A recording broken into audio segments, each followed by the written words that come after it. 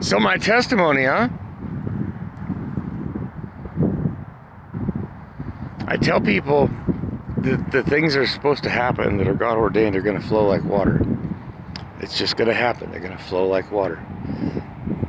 The things that you bump your head against are not the things you need to be pursuing.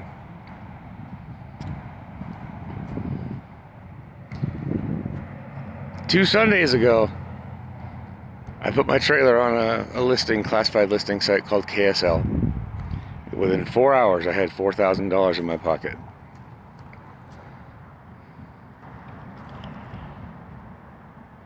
I was told by the leasing consultants and the apartment complexes, no, you can't you can't rent anything for 3 years.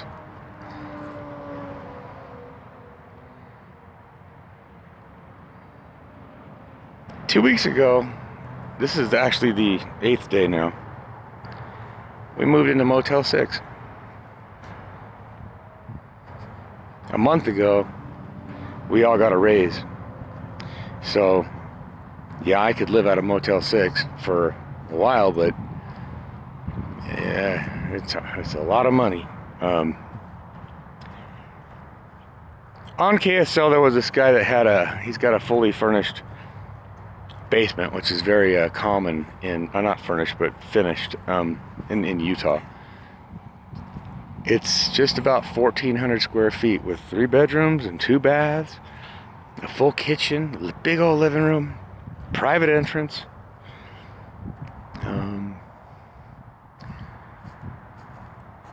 and he was one of the only ones on there that had left his phone number, so I talked to him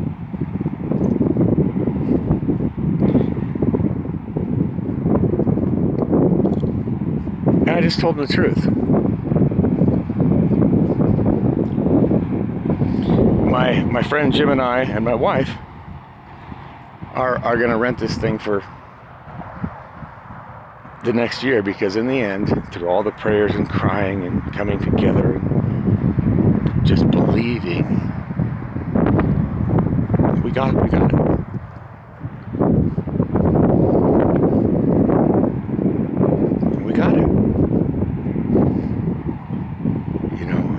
Not through my great talking or conniving or scamming, planning, arguing or fighting. Just praying.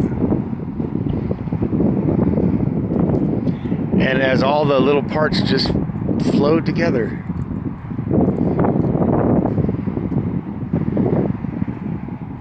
all I can do is say hallelujah. Thank you, Lord.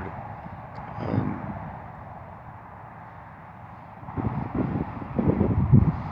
I told myself in, in every morning when I'd wake up and I would kind of go back in the past, oh, if I could have said this or done that, or maybe I'll do this or whatever. And I stopped myself.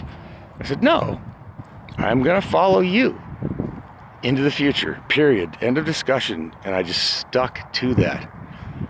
Just stuck to it. Anytime any negative thought or any, you know, thought that would take me off on a tangent, I just stopped it and said, no, no, I'm going to follow the Lord, period.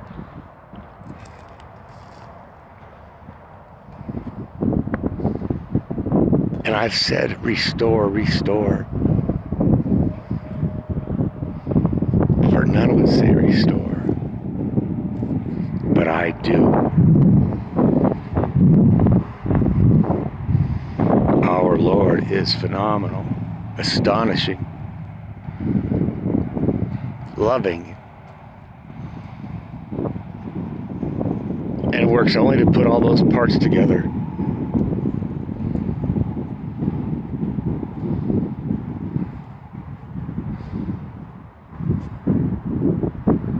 I love you. God loves you. Pray without ceasing. Don't allow yourself to go anywhere but there.